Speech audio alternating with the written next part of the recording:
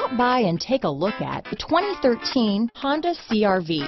CRV, a top recommended vehicle because of its car-like driving manners, good value, cool technology, and comfy interior. This vehicle has less than 80,000 miles. Here are some of this vehicle's great options.